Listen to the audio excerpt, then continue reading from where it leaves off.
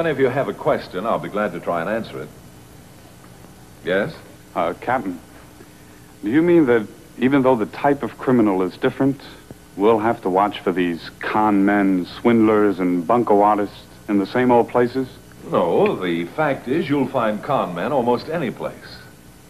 From the scrubbiest parts of town all the way up to the playgrounds of the social set. And in each case, they manage to fit right into the background they're working against.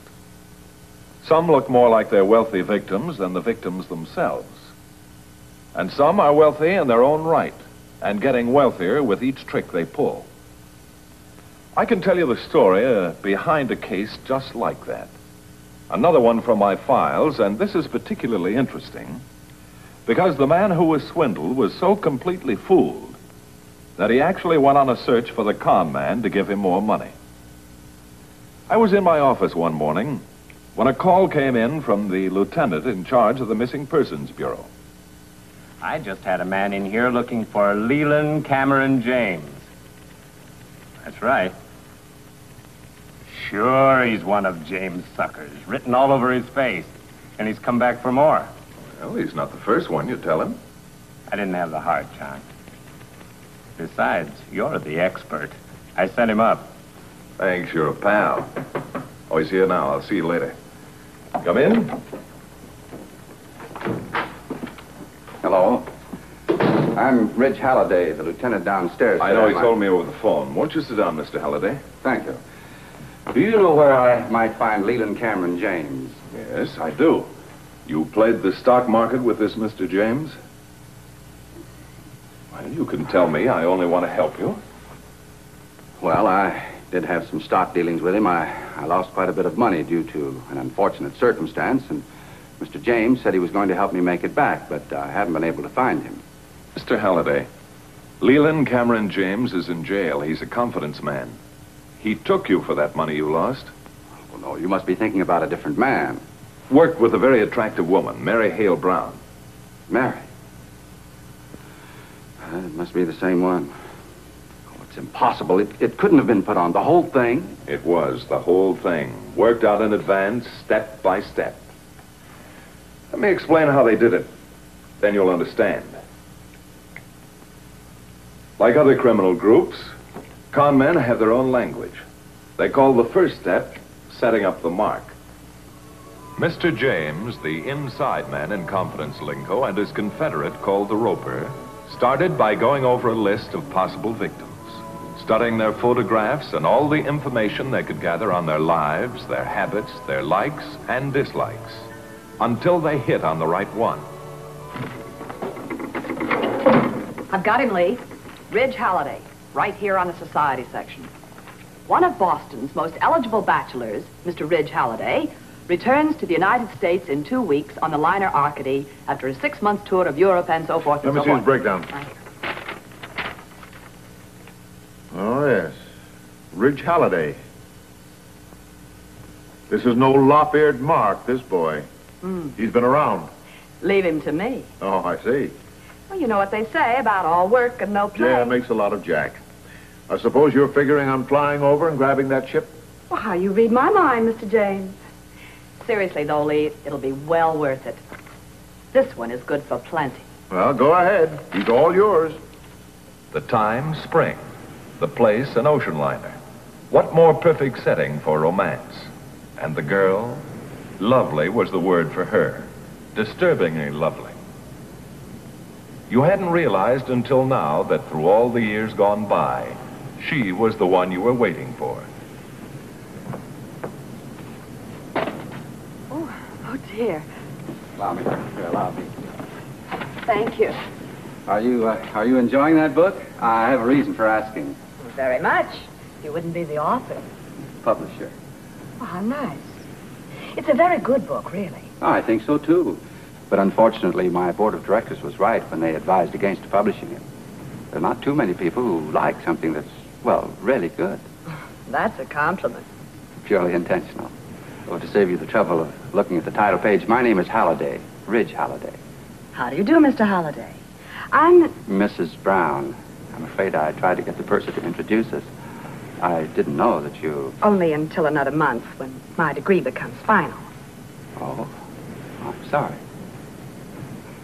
It was rather a blow when Keith told me that he wanted to get a divorce. I just pulled up anchor, traveling from New York to South America, New York to Paris. May I have a cigarette? Oh, of course. Here we are. Thank you. Uh, would you? May I, uh, may I get you something from the bar?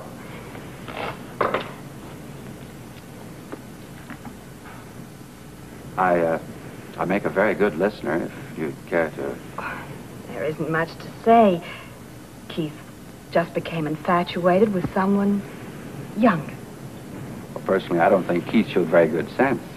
Thank you. You're from New York, aren't you, Mr. Halliday? Boston. But I intend to stay in New York for a while after we dock Business. to see you. May I? New York is nice in the spring. You really fell for it, didn't you, Mr. Halliday? And you had no way of knowing all of this was only step number two. Shelling out the con or gaining the victim's confidence. New York. You'd been there many times before, Mr. Halliday, and always hated it. The strange unfriendliness of a city so crowded with faceless people hurrying nowhere. But now it was different. Warm, welcoming, exciting. Because you were in love. Mary, on board, you said another month. When is the day? Or the 15th. It's a long, long way off. But you hardly know me, Ridge. Well, you're right. There are a lot of things I don't know about you, but I'm going to find out about them. Hour by hour, day by day. Why, I've never really felt this way about anybody or anything before. Oh, you're very sweet, Ridge, but I, I don't think we ought to talk about anything until... All right, but on the 16th, look out for shooting stars and skyrockets.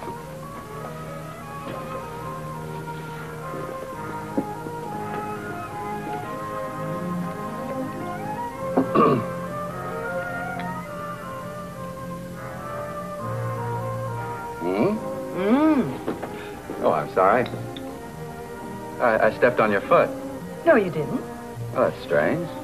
Oh. Well, what do you know? Oh, it's like my day. Uh, I'll ask the waiter if there's anyone here that lost Oh, there, there might be some identification inside, Ridge. No. Oh, get thee behind me, Satan. Oh, wait a minute, here's something. Newspaper clipping. Picture of somebody. Leland Cameron James. Mr. James. Why, he lives right here in this hotel. Oh, you know him? My uncle, that is, Keith's uncle, knows him very well. He always wanted me to drop in on him, but I never got around to it somehow. Well, What is this with hiding the face like he's just been arrested or something? oh, he's a strange character. Been amassing fortunes in the stock market and hates publicity. At least that's what Keith's uncle told me. Well, let's, let's go up to see him. We'll kill two birds with one stone. Well, I don't know, Ridge. After all, he is a friend of Keith's uncle. Oh, don't be foolish, Mary dear. This James sounds interesting. It might be fun for both of us. Well, a fairly exciting day so far, wasn't it, Mr. Halliday? All by chance? Not on your life. You were swallowing the bait in step number three, called moving up the mark. In simpler language, steering you to meet the inside man. Well, this is Mary Hale Brown, Mr. James. Senator Brown's niece. Oh, so you're old Brownie's niece. Glad to see you. Come in. I'm glad you caught me. I was just on my way downtown. How is old Brownie anyway? Well, I haven't seen him too recently. You know, Keith and I are... Yes, I read it in the papers. Oh, I'm sorry. This is Mr. Halliday. We met on shipboard. Oh, a new romance, eh? Well, good for you, my girl. Glad to see you, sir. I'm glad to meet you, Mr. James. Sit down. Sit down. I'm sorry I was so rude just now when you came to the door. I thought I might have been those reporters again. They've been giving me a bad time. Oh, I told Mr. Halliday that you were publicity shy. Uh, when he saw that picture of you in your wallet. Yes, I opened it to see if there was any identification in it, sir. I did lose it. I'm glad that you found this Halliday. Well, there was a lot of money in it. No, it's not the money. I wouldn't want anybody to see this wire connecting me with the syndicate. Of course, you'll keep this a secret between yourselves. Why, you make it all sound so illegal, Mr. James. Well, let's call it questionable. Well, now that you both know, this syndicate that I'm connected with, we buy stock in small companies, raise the price, and then sell. No, really? Can they still do that? You know, I like you, Halliday. You sound like a skeptic. Do you happen to have a $100 on you? Well, I...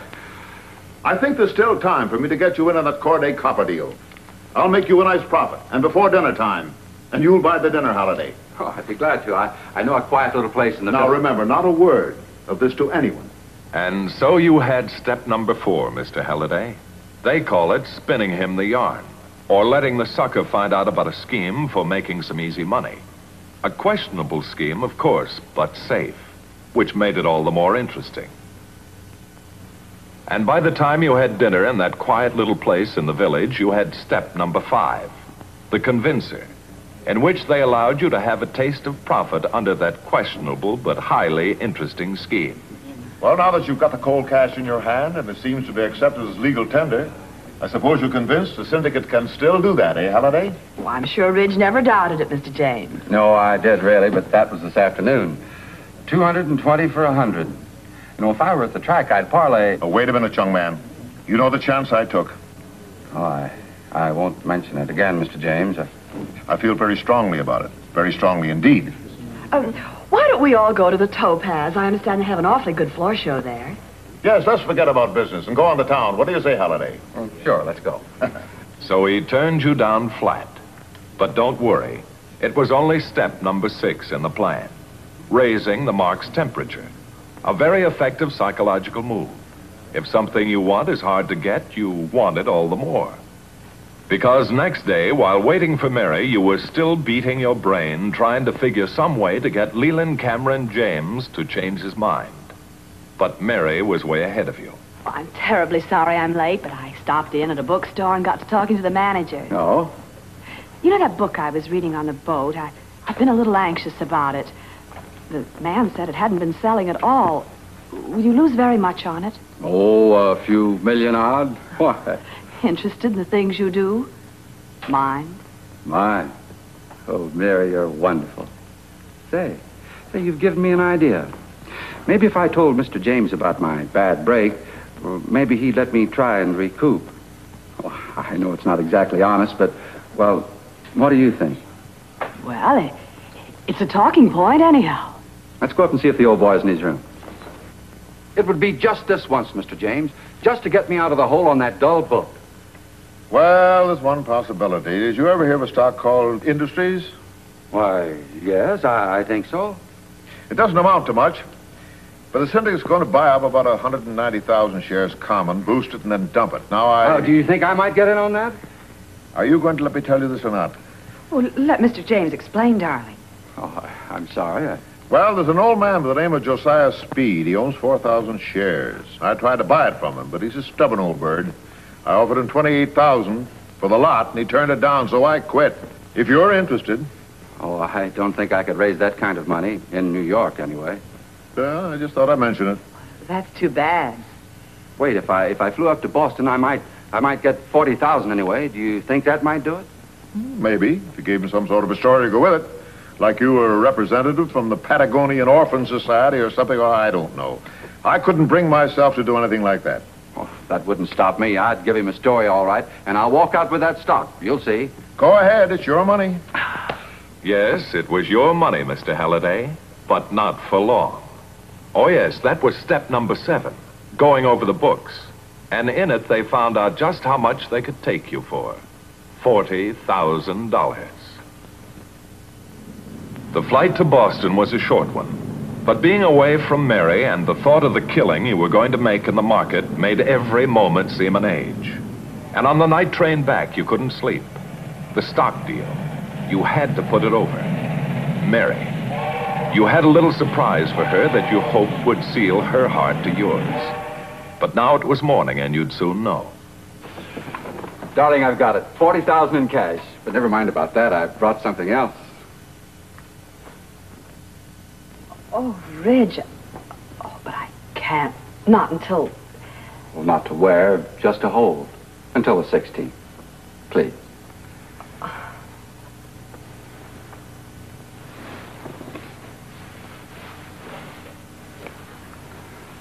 Ridge, I, I think people are looking at us. Let them. I'll go see this Josiah Speed fellow right away. I'll call you as soon as I leave the place. Oh, I know you'll make it, darling. And come on up to Mr. James' apartment. I'll be there.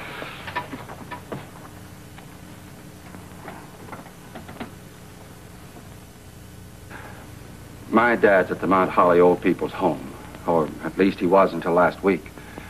When he passed on, I realized I hadn't taken very good care of him. The one way I can ease my conscience is to give money to that home. I want to give them a lot. All I possibly can. The last man who came here, greed written all over him. But you, at least you'll do something with the money. Something an old man like me can understand. Hmm? But something going on with that stock. My estate can get a lot more than 30,000. 40,000. It's, it's all I've got, Mr. Speed. Please take it. Believe me, it's better than your estate can do. Well, I'd be able to see some good done before I go. Yes. Yes. It's in that drawer there.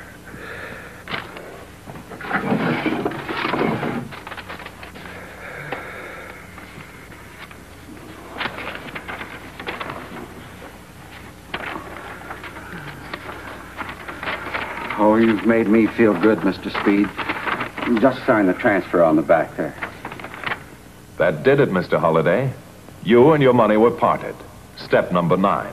What the con man calls the fleece job. Good day, nurse. Okay, Barney.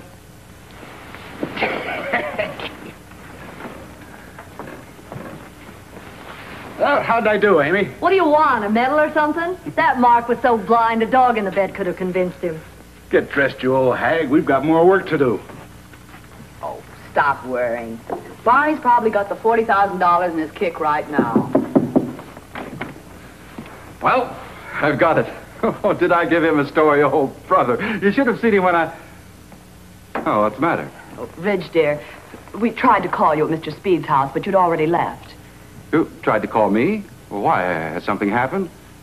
Mr. James, what's this all about? I knew it would happen. I knew it. The syndicate found out that I let you in on the deal. Oh, fine.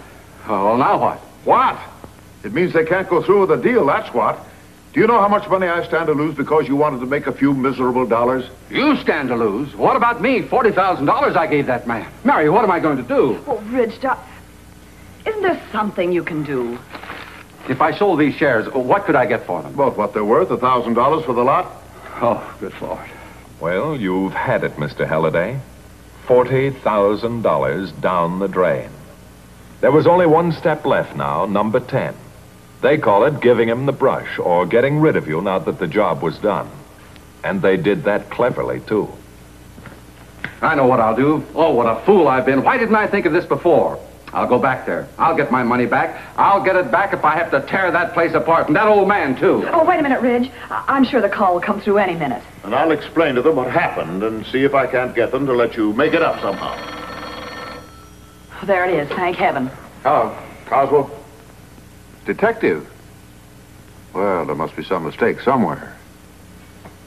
Now, look here. The next time the clerk sends somebody up here, you tell him to call me first. You understand? There's a detective on his way up to this room. Now, look here. I don't know what this is all about, but you better get in that room there.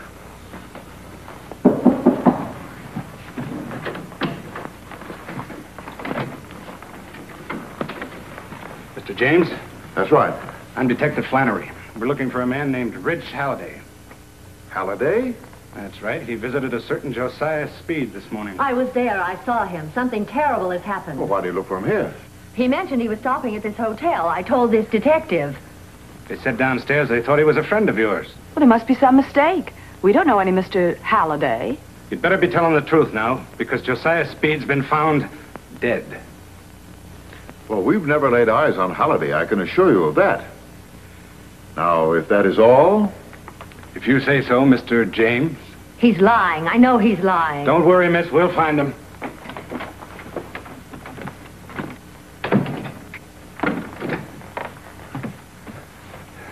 I didn't kill him. It's crazy. Oh, we know you didn't, dearest. Well, you can't be sure what a jury will say. Now, look here. I'm going to Chicago in a few days on another deal. You hop a plane and fly there and wait for me at the Hotel Billings. I'm sure this Josiah Speed thing will blow over. And I think I can arrange for you to make back your $40,000. But I'm going to do it in my own name this time. Now, go on, get out, get out. Please come with me, darling. Come with me. Oh, I can't. I've got to meet the lawyers.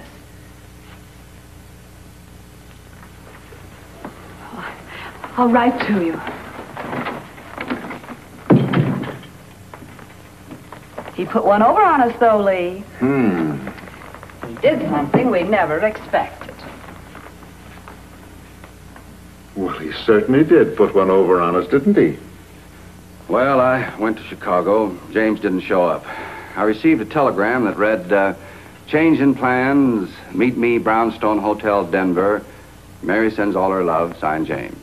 And you got another one in Denver. Now, this is the one that really did it. Sorry, bad news. Syndicate had to disband, and I am leaving for South America. Back in September on New Deal. We'll look you up, and we'll make a killing. And then something about the police having discovered that Josiah Speed died a natural death, and I could go back to Boston. Nothing about Mary in this one. Oh, yes, uh, P.S. Uh, Mary went back with Keith. That's all. She sent you back the ring, of course. Oh, at least I got that back. I guess I'm quite a fool to have kept carrying this around with me, as well as for the other Let me reasons. see that ring, Halliday. Oh, of course.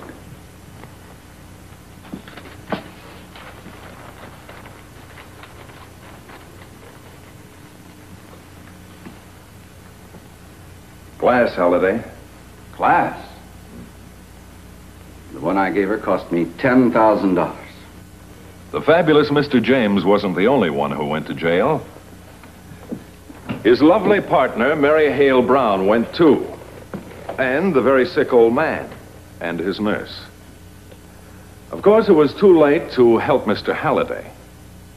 But I think he learned his lesson. I don't think he was ever taken again. Now, that brings up another important point in the con man's technique.